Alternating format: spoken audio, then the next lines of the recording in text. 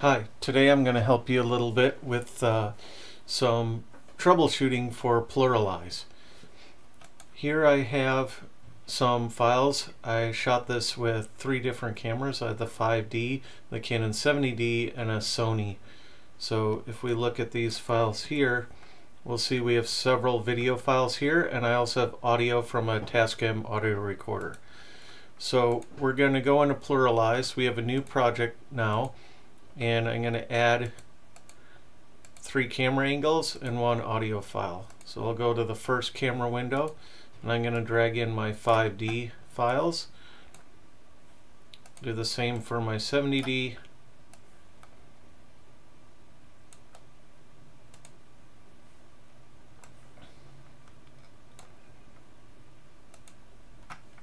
And my third file's on the Sony.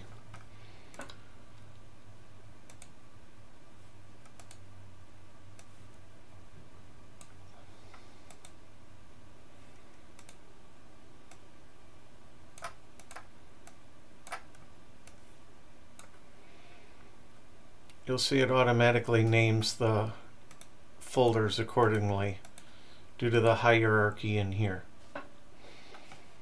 Um, the Sony, I recompressed the video files uh, to the Cineform codec, so that's why it doesn't show the preview.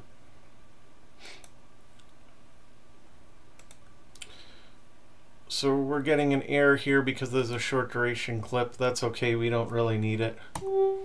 So I can delete that file. And lastly, I need to add the audio files.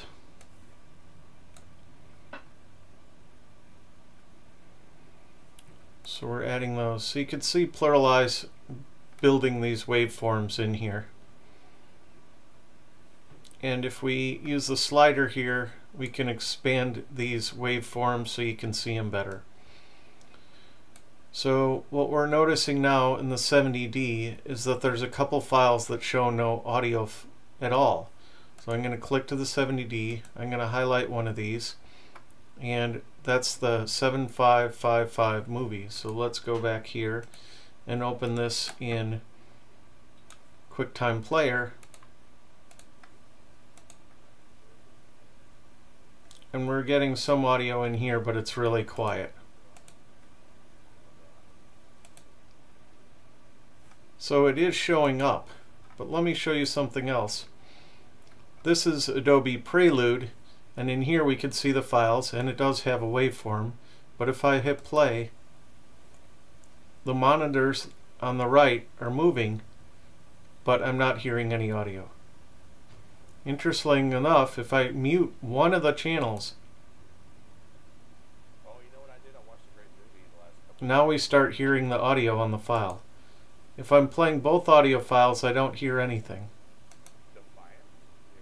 So that's a little bit of a clue to what's going on. So let's switch back to PluralEyes.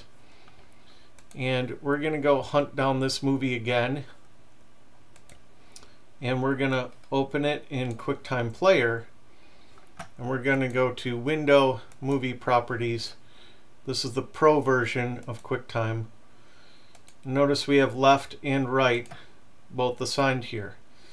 Um, but I'm going to take left and change it to mono and I'm going to go to right and say unused. Now I'm going to close this file. It's going to ask me if I want to save it and I will. So that's the 7555 movie. So I'm going to go into my pluralized sync. I'm going to delete that movie from the queue and then go in here and delete these preview files. Move those to the trash and I'm going to drag this movie back onto here. Now we're getting some audio waveforms in here. So I'm going to hit sync and see what happens.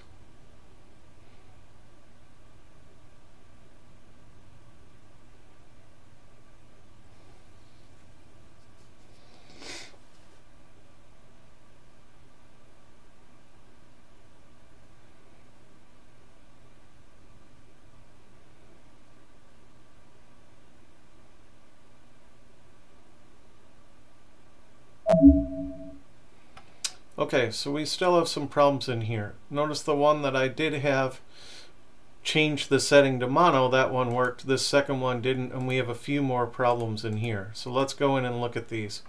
So if we go to the 70D file, it's going to give us this error here.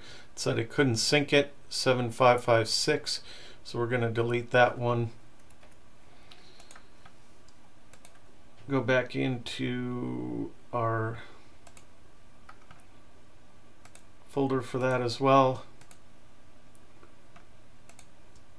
delete the preview files, open this file in QuickTime Player Pro, change this to mono, change that to unused, and save the file out. I'm going to drag it back in here.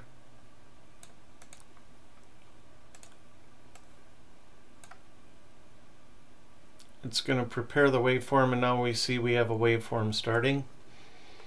So now let's hit synchronize.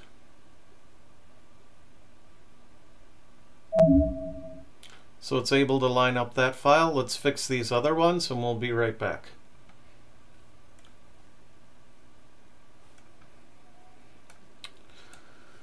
So there you have it. That's how to fix some of the audio recordings and uh, hopefully this will help you out in PluralEyes.